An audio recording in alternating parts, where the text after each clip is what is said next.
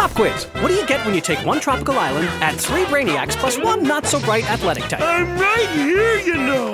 Answer? You get half a show. What? The other half is arriving right now. No, no, no. It's Nerds and Monsters, a show about using your brain, You should cease your nasal vestibules from reverberating. facing your fears, Retreat! and embracing who you are on the inside. Did he just make a nerd baby? Gross! Nerds and Monsters new episode Wednesday at 4:30 in the zone.